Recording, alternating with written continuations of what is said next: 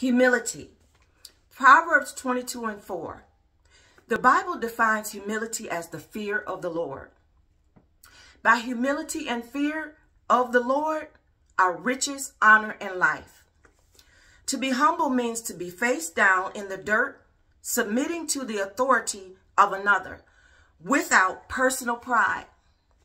Jesus says this about humility in Luke 14 and 11. For whosoever exalts himself will be humbled, and who humbles himself will be exalted.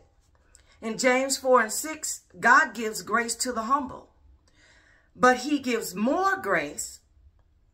Therefore, he says, God resists the proud, but gives grace to the humble.